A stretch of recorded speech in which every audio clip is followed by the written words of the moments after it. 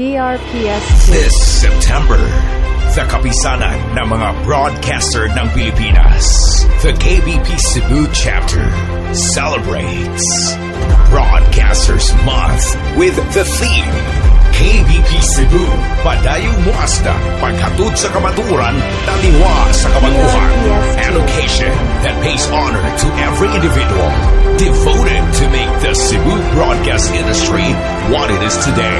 Dynamic, accountability, and liberty.